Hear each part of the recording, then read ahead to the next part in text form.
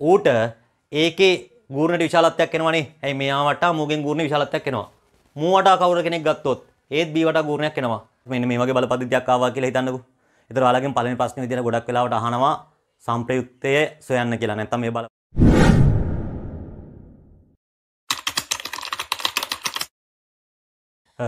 ළමයි මේ කතා කරන්න හදන්නේ 2025 තීරි දරුවන්ගේ ත්‍රිකෝණමිතිය පාඩමට අදාළ අපි ලබා දුන්න ටියුට් එකේ තිබ්බ අමාරු ගාණක් දරුවෙක් විමසලා තිබ්බා. ඒ නිසා මේ ගාණ හද නැටි කොහොමද කියලා බලමු පොඩ්ඩක්. හරි. මෙන්න මේකේ සර්වසාම්‍යයක් තියෙන්නේ මේ සර්වසාම්‍යය අපිට තියෙන්නේ වම් පැත්තේ මෙහෙම ප්‍රකාශනයක් තියෙනවා දකුණු පැත්තේ තියෙන්නේ cos 4යි θ ඍණ cos 3යි θ බව පෙන්වන්න කියලා තමයි තියෙන්නේ. හරි. මම මේකෙන් right hand side එක තෝරගන්නවා. මොකද ළමයි මම ඒකට තෝරගන්න එක හේතුවක් තමයි එහා පැත්තේ 4යි තීටා 3යි තීටා කෝණ තියෙන්නේ. එයාව හරවන්න තියෙන තීටා කෝණවලට. ඒතර 4යි තීටා මට 2යි තීටා සූත්‍රය හැම භාවිතා කරලා තීටා කෝණවලට හරවන්න පුළුවන්. ඒ වගේම තමයි 3යි තීටාට සූත්‍රයක් තියෙනවා. ඒ නිසා තමයි මම දකුණු පැත්ත තෝරගන්නේ. නැත්තම් මේ පැත්ත තෝරගත්තොත් පොඩ්ඩක් අපි අමාරු වෙටෙන්න පුළුවන්. හරි. මොකද තීටාව 3යි තීටා 4යි තීටා බඩ පත් කරන්න ඕනේ. හරි. මම මෙන්න මේක මෙයා බවට පත් කරනවා. හරි. එතකොට මට එකපාර කොස් හතරයි තිරට සූත්‍රයක් තියෙනවද ළමයි? නෑනේ. කොස් හතරයි තිරට එකපාර සූත්‍රයක් නෑ. හැබැයි මට කොස් හතරයි තීටව කොස් දෙකයි තීට ඇසුරෙන් ලියාගන්න පුළුවන්. කොස් දෙකයි තීට සූත්‍ර. අපි දන්නවා කොස් දෙකයි තීටට සූත්‍රයක් තියෙනවා. දැන් මේ ගාන හැටියට නම් සීලොම දේවල් තියෙන්නේ මේ කොස් පද වලින්නේ. කොස් දෙකයි තීටට සූත්‍ර තුනක් තියෙනවා. කොස් වර්ග තීට අරින සයින් වර්ග තීට එකක්. අනිත් එක දෙකයි කොස් වර්ග තීට අරින එක. අනිත් එක එකරින දෙකයි සයින් වර්ග තීටා. එතර මෙතන කොස් හතරයි තීටත් මට ලියන්න පුළුවන්. කොස් හතරයි තීටාවත් මෙතැනෙන දෙකයි තීටානේ. එතර ඒකෙත් සූත්‍ර තුනක් තියෙනවනේ. ඒ සූත්‍ර තුනනුත් ඔයාලා ගන්න ඕන සූත්‍රයේද? අන්න ඒක තීරණය කරන්න. බලන්න ළමයි මේ ප්‍රකාශනය තුල අඩංගු වෙලා තියෙන කවුරු විතරද? කොස් පද විතරයි. එහෙනම් සයින් අඩංගු එකා ඕනේ නෑනේ ළමයි මට. එහෙනම් මූ නැතුව මූත් නැතුව මම මෙන්න මේ සූත්‍රය පාවිච්චි කරනවා. හැබැයි එතකොට කොස් 2යි తీරට මෙයා කොස් 4යි తీරට කොහොමද ලියවෙන්න ඕනේ? කොස් 4යි තීට සමානයි 2යි කොස් වර්ග 2යි තීටා ඍණ 1. එහෙනම් මම කොස් 4යි තීටා වෙනුවට දානවා 2යි කොස් වර්ග 2යි තීටා ඍණ 1. හරි නේද? හරි. ඊට පස්සේ ඍණ කොස් 3යි තීටට සූත්‍රයක් තියෙනවා. අපි දන්නව නේද කොස් 3යි තීටගේ සූත්‍රය? මොකද්ද කොස් 3යි තීටගේ සූත්‍රය? sin 3යි තීටා ගෙනන් සූත්‍රය 3යි sin තීටා ඍණ 4යි sin ගණය තීටා. එහෙනම් කොස් 3යි තීටගේ සූත්‍රය 4යි කොස් ගණය තීටා ඍණ තුනයි කොස් තීටා. ඔව් හතරයි කොස් ගණයේ තීටා ඍණ තුනයි කොස් තීටා. හරි දැන් පොඩ්ඩක් මේක ප්‍රසාරණය කරන්න යමු. එතන මේකේ තව චුට්ටක් බැලුවොත් මේකේ හැමතැනම තියෙන තීටා කෝණනේ. දෙකයි තීටා නෙවෙයි. එහෙනම් අර වගේමයි ආයෙත් දෙකයි තීටා තීටා බවට පත් කරගන්න ඕනි. මම ඒකට පොඩ්ඩක් මෙහෙම කරන්නම්. මේක දෙකයි කොස් වර්ග දෙකයි තීටා කියන්නේ කොස් දෙකයි තීටාගේම වර්ගය නේද? මම ඔක පොඩ්ඩක් වෙන් කරලා ලිව්වේ පැහැදිලි වෙන්න. නැත්තම් අත්‍යවශ්‍ය නැහැ. මේ මම මේ මේ ලියන පියවර අත්‍යවශ්‍ය පියවරක් එහෙම නෙවෙයි ඈ. ඍණයි ධනයි ඍණ හතර වතාවක් cos ගණේ තීටා. ඍණයි ඍණයි ධන 3යි cos තීටා. මේ පියවර මම අර්ථමැද පියවරක් ලිව්වේ. මොකද මෙහෙම ලියා ගන්න ඕනේ නැහැ. ඔයාලට පැහැදිලි නැත්නම් මම මේක ලිව්වේ. දෙකයි ළමයි මේ cos 2යි තීටා නැවත තීටා ඇසුරෙන් ලියන්න බැයිද? cos 2යි තීටාගේ සූත්‍රය දාලා. ආ cos 2යි තීටා නැවත ලියන්න පුළුවන්. 2යි cos වර්ග තීටා ඍණ 1. එහෙනම් මම මේ ඇතුලේ තියෙන එකව ලියනවා. 2යි cos වර්ග තීටා ඍණ 1 කියලා. එයාගේ වර්ගය තමයි තියෙන්නේ. මෙතන ඍණ 1 තිබ්බා පිටි. මෙතන තියෙනවා ඍණ 4යි cos ඝනය තීටා ධන 3යි cos තීටා. උන්ට මම මුකුත් කරන්නේ නැහැ ළමයි. ඇයි හේතුව තමයි මේකේ තියෙනවා ওই සෙට් එකම. හරි. ඊට පස්සේ මම පොඩ්ඩක් මේ ඇතුළ ප්‍රසාරණය කරගන්නම්. ඔයාලට පේනවා මෙතන දෙකක් එළියෙන් තියෙනවා. මේක ප්‍රසාරණය කරොත් පූර්ණ වර්ගයක්. පූර්ණ වර්ගයක ප්‍රසාරණය කොහොමද එන්නේ? පළවෙනි පදයේ වර්ගය. පළවෙනි පදේ මොකද්ද? 2යි cos වර්ග තීටා. එයාගේ වර්ගය කියන්නේ 4යි cos 4 වෙන බලයේ තීටා. ධනයි ඍණයි ඍණ මුන් දෙන්නගේ ගුණිතේ දෙගුණය. එක වතාවක් මූ කියන්නේ මූමනේ. ඒකේ දෙගුණය කියන්නේ 4යි cos වර්ග තීටා. අවසාන එකාගේ වර්ගය. ධන 1යි. එතකොට මෙතන තියෙනවා ඍණ 1 ඍණ 4යි cos ඝනය තීටා ධන 3යි cos තීටා. හරිද?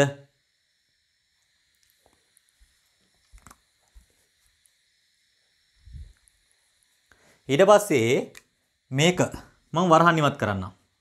දෙවරක් 4 8යි cos 4යි තීටා. ධනයි ඍණයි ඍණ දෙවරක් 4 8යි cos වර්ග තීටා. ධන දෙවරක් 1 2යි ඍණ 1යි.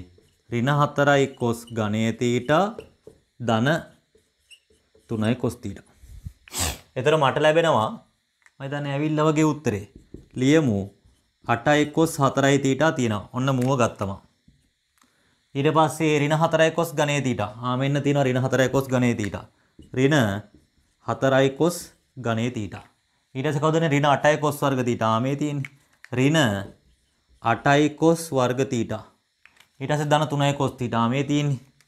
ධන 3යි cos තීටා. ඊට පස්සේ ඉතින් ධන 1යි 2යි ඍණ 1යි කියන්නේ ධන 1යි.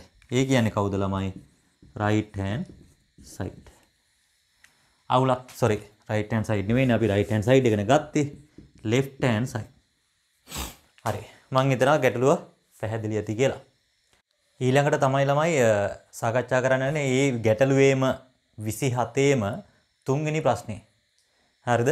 ඒ තුන්වෙනි ප්‍රශ්නේ පෙන්වන්න තියෙන්නේ මෙන්න මේ වගේ සර්වසාම්‍යයක්. ඒකේ තියෙනවා වම් පැත්තේ මේ වගේ ප්‍රකාශනයක් දකුණු පැත්තේ මේ වගේ ප්‍රකාශනයක්. එහා පැත්තේ තියෙන්නේ sin 8 8x මේ පැත්තේ තියෙන්නේ 2x සහ 6x කෝණ. සාමාන්‍ය පද ගොඩක් වගේ මේ පැත්ත තියෙන නිසා මම තෝරගන්නම් වම් පැත්ත. ඒතර මම මේකේ left hand side එක විදිහට තෝරගත්තොත් මට තියෙන්නේ sin ඝණය 2x cos 6x ධන cos ඝණය 2x sin 6x. ඔන්න ඕක තමයි මම ගාව තියෙන්නේ. එතන මට ගන්න ඕනි sin 8x පදය. හරිද? sin 8x. එතකොට ඒ ධන v සූත්‍රයක් වගේ ගත්තොත් 6x ධන 2x කියන්නේ නම් 8x. හරි. මම පොඩ්ඩක් මේක මෙහෙම ලියන්නම්. මම ලිව්වොත් එක ක්‍රමයක් මම මේ ක්‍රම කිහිපයකින් හදන්න පුළුවන් මේක මම එක ක්‍රමයක් කිව්වොත් sin ඝනය 2x අපි දන්නවනේ 3 තීටා සූත්‍ර 3 තීටා සූත්‍ර තිබුණොත් අපි දන්නවා sin 3 තීටා කියන්නේ කවුද 3යි sin තීටා ඍණ 4යි sin ඝනය තීටා. ඕකේ 4යි sin ඝනය තීටා මේ පැත්තට ගේන්න. 4යි sin ඝනය තීටා සමානයි. මෙතනින් 3යි sin තීටා මූ හැ පැත්තට ගෙනිච්චොත් ඍණ sin 3යි තීටා. 4ෙන් බෙදලා දාපුවාම sin ඝනය තීටා කියන්නේ මෙන්න මෙයා කියලා ලැබෙනවා. එහෙනම් sin ඝනය 2x කියන්නේ කවුද? sin ඝනය 2x. එතකොට තීටා වෙනකොට 2x දැම්මනම් හරිනේ. එහෙනම් sin ඝනය 2x කියන්නේ කවුද? 3යි sin 2x ඍණ sin 6x බෙදීම 4 ගැලපෙනව නේද? මූ වෙනුවට තමයි මම මේක ලිව්වේ. cos 6x මං හැමම තියන්න. ධන. ඊට පස්සේ cos ඝණය 2x. ළමයි cos 3 θ සූත්‍රය මතකද? කොස් 3යි තීටා කියන්නේ කවුද? 4යි කොස් ගණයේ තීටා ඍණ 3යි කොස් තීටා. එහෙනම් ඒකෙන් තනි කරගන්නකො ළමයි 4යි කොස් ගණයේ තීටා මූ මේ පැත්තට આવොත් කොස් 3යි තීටා ඍණ මේ පැත්තට ආපුවම ධන වෙනවා. ධන 3යි කොස් තීටා.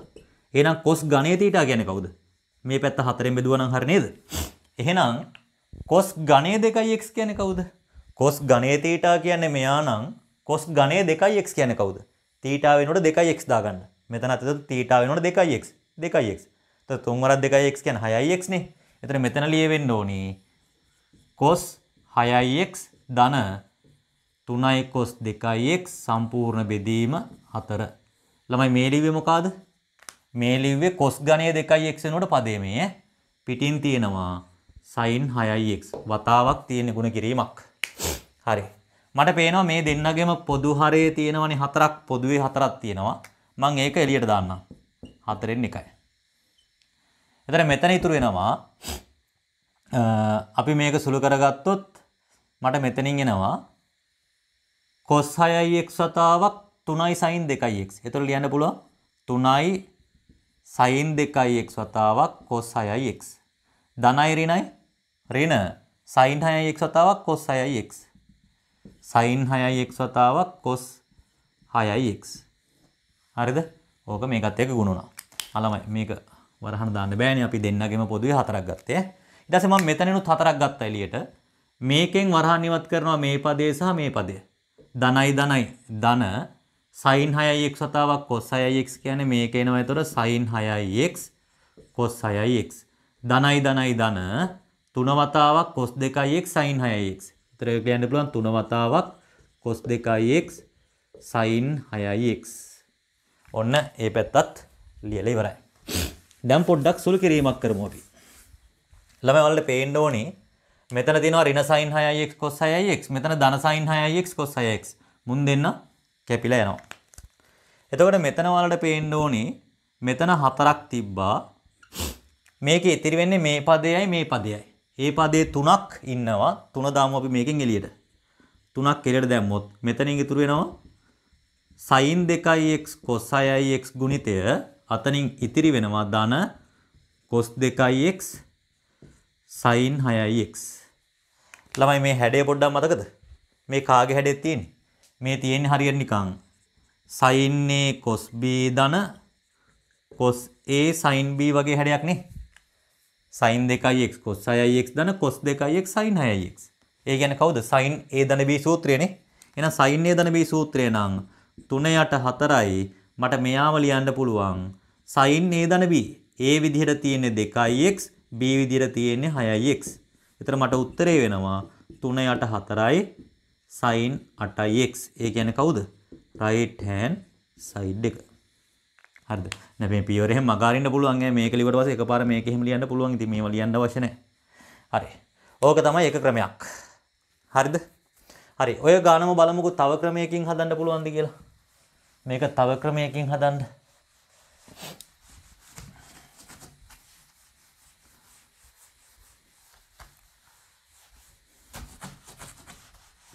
බලමු මේ ගානම තව ක්‍රමයකින් හදන්න. හරි. මම මෙහෙම කරොත් මට මේකෙන්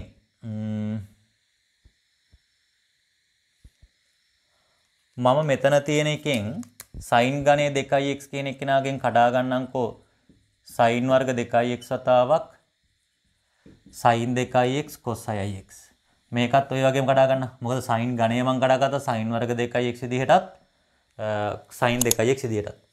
මේක මම කඩා ගන්නම් cos වර්ග 2x විදිහටත් cos 2x විදිහටත්. ତොර sin 6x වෙනවා. හරිද? වරහණක් නෑනේ. හරිද? ඊට පස්සේ මම ලිව්වොත් මෙහෙම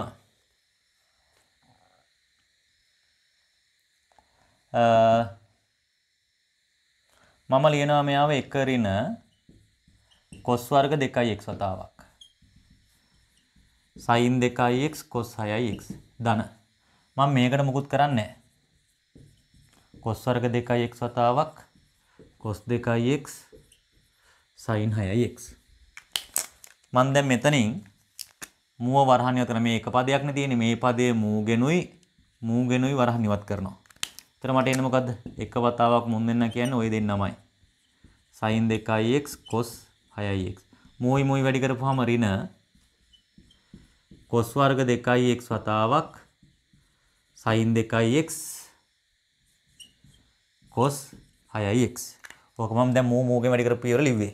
මේ ඉතිරි එක මම කළු පෑනෙන් ලියනවා. මේ ඉතිරි එක තියෙනවා cos වර්ග 2x cos 2x sin 6x. අවුලක් තියනවද? නෑනේ.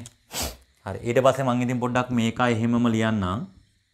sin 2x cos 6x මුන් දෙන්නගෙන් ඔයාලට පේනවද cos වර්ග 2x එළියට ගන්න පුළුවන්. cos වර්ග 2x එළියට ගත්තොත් කවුද ඉතිරි වෙන්නේ? Cos වර්ග 2x එළියට ගත්තොත්. cos වර්ග 2x එළියට ගත්තොත්. හරි බලමු. මම මෙතනින් ගන්නම් ඍණ cos වර්ග 2x එළියට. එතන මූ ධන වෙනවා sin 2x cos 6x මූගෙන් ධන ලකුණු තියදී ඍණ ලකුණ ඊට ගත්තේ එහෙනම් මෙතන ලකුණ ඍණ වෙනවා cos 2x sin 6x මම හිතනවා අවුලක් නෑ කියලා හරිද ඊට පස්සේ මම පොඩ්ඩක් මේක ඔහොමම තියෙද්දි මම මෙතන පොඩ්ඩක් ලියා ගන්න මෙන්න මෙහෙම එකක් ඍණ cos වර්ග 2x වතාවක් මේ තියෙන කවුද කියන්නකෝ මට sin 2x cos 6x ඍණ cos 2x sin 6x. ඔය තියෙන්නේ sin a ඍණ b සූත්‍රයක් නේ. ඒතර මේක ලියන්න පුළුවන් 2x ඍණ 6x කියලා. හරි නේද? හරි. ඊට පස්සේ මෙතන තියෙනවා sin 2x cos 6x.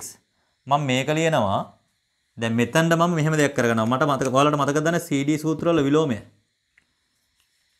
අපි CD සූත්‍ර වල ලෝමය කරා කට්ටියට CD සූත්‍ර වල ලෝමයේදී මෙතන දෙකක් තියෙන්න එපේ. එහෙනම් මං ඉස්සරහට භාගයක් දාගෙන ලියනවා නැත්නම් මෙතන දෙකක් දාගන්න ආයෙ භාගයක් දාගන්න ඉස්සරහින් කැපිලා යන. ඒතර භාගයේ වතාවක් 2යි sin cos තිබුණොත් එහෙම කොහොමද එන්නේ? sin a ධන b sin a ඍණ b. sin a ධන b කියන්නේ එතකොට 2x ධන 6x කියන්නේ 8x. ධන sin a ඍණ b 2x ගෙන් 6x ගියොත් ඍණ 4x. මං හිතනවා අවුලක් නෑ කට්ටියට කියලා. එතන මේකයි මේකයි වරහන් ඉවත් කරොත් භාගයයි sin 8x. එතන sin ඍණ 4x කියන්නේ ඍණ sin 4x. ඒ ඍණ sin 4x භාගය කියන්නේ ඍණ භාගයයි sin 4x වෙනවා. ඊට පස්සේ ඍණ මෙතනින් එනවා cos වර්ග 2x වතාවක් කවුද මෙතනින් එන්නේ sin ඍණ 4x නේ. එහෙම නේද? sin ඍණ 4x.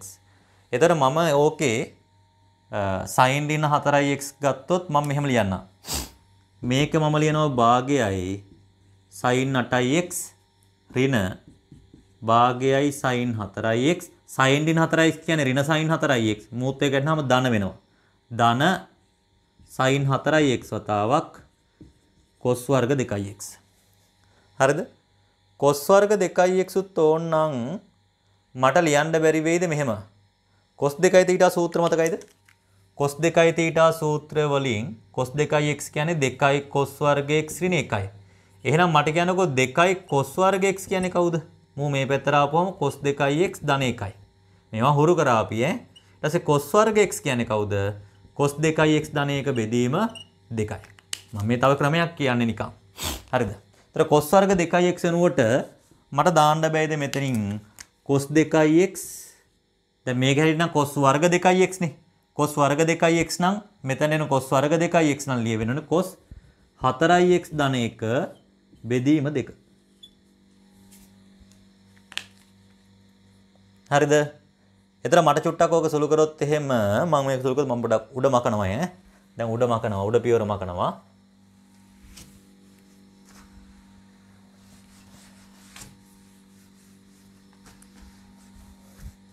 එතර මට මෙතනින් තිබ්බා භාගයයි sin 8x ව. sin 8x මෙතන තිබ්බා ඍණ භාගයයි sin 4x මේක සුළු කරොත් ධන භාගයයි sin 4x භාගයයි sin 4x cos 4x ධනයි ධනයි ධන භාගයයි sin 4x හරි නේද? එතන ඔයාලට පේනවා මෙතන ඍණ භාගයයි sin 4x ධන භාගයයි sin 4x ට කැපිලා යනවා. ඊට පස්සේ ඔයාලට මේක පොඩ්ඩක් ලියන්න පුළුවන් මෙහෙම ඉතින් භාගයයි sin 8x නේ තියෙන්නේ මට ගන්න ඕනි sin 8x කෑල්ලක්. මෙතන ධන භාගයයි මම මෙහෙම කරොත් අරක ලියන්න බැයිද මෙන්න මේක ලියන්න බැයිද මම ගොඩක් මෙහෙම හදාගන්නම් මෙහෙම මෙතනට දෙකක් දාගන්නවා sin 4x cos 4x කියලා යට දෙකක් දාගන්න. මොකද මම මෙහෙම දාන්න හේතුව මෙතන දෙකක් තිබුණේ නැහැ. ඒ නිසා උඩට දෙකයි යට දෙකයි දාගත්තා. ඊට පස්සේ මොකද හැදෙන්නේ කියලා බලන්න. උත්තරේ එනවා. උත්තරේ ඇවිල්ලා තියෙන්නේ දැන්. මේ තව ක්‍රමයක් කිව්වේ. ආ එතකොට මෙතනින් එනවා භාගයයි sin 8x ධන දෙවරක් දෙක 4යි. එතකොට 1 යට 4යි. මෙතන 2යි sin 4x cos 4x කියන්නේ මොකද්ද? sin 2යි θ සූත්‍රය. ඒතර ලිය වෙනවා sin 8x. ඒතර මේ දෙන්නගේ පොදු හරය 4 ගත්තොත් මේ පැත්තට දෙකෙන් වැඩි වෙනවා 2යි sin 8x ධන sin 8x. මොකද මේ පැත්තට දෙකෙන් වැඩි වෙනවා 2යි sin 8x ධන 1යි sin 8x. ඒතර එනවා 3යි sin 8x. මම හිතන උත්තරය ඇවිල්ලානේ. බලන්න දකුණු පැත්තේ තියෙන එක නෙමෙයිද කියේ. ආ මේක ලියන්න පුළුවන් 4න් 3යි sin 8x. ඒ කියන්නේ කවුද? right hand side. බලන්න කලින් හදපු ක්‍රමයයි මේ හදපු ක්‍රමයයි සම්පූර්ණයෙන් වෙනස් නේද? හැබැයි වෙනස් වුණාම වගේම ලොකු වෙනසකුත් තියෙනවා. මොකද ලොකු වෙනස අරකේ පියවර කිහිපයයි ගියද මේකේ පියවර ගොඩක් ගියා. එතන මේක තමයි ළමයාට වෙන්නේ එක්සෑම් එකේදීත්. ගණන් හදලා පුරුදු වුණොත් අපි අර අපි කියන්නේ මං පන්ති දැන් වටේ යනවා නේද? වටේ යන ගතිය නැති වෙනවා ගණන් හදලා පුරුදු වුණොත්. නැත්නම් ඉතින් අපි අහුවෙච්ච ක්‍රමෙන් අල්ලගෙන යන්න වෙනවා. තේරෙනවද? එතන ඉතින් අපි වටයක් ගිහිල්ලා තමයි ගණන්ට එන්නේ. එහෙනම් ඒ වගේ දේවල් පොඩ්ඩක් මගාරින්න පුරුදු වෙන්න ගණන් ගොඩක් හදන්න. හරිද? හරි. එහෙනම් ඔන්න ඒ ගානත් හරි. ඔයාලට මොනවා හරි අමාරු ගානක් තියෙනවා නම් මම දාලා තිනවා අපේ ගෲප් එක දාලා තිනවා. ඒ ගෲප් එකට දාන්න. මට පුළුවන් වෙලාවට මම හදලා සාකච්ඡා කරලා දානවා. හරි? හරි. එහෙනම් ඔන්න ඔකයි මට දාලා තිබ්බ ගැටලු දෙක. ඒකට විසඳුම් දෙක තමයි ඔය සාකච්ඡා කරේ.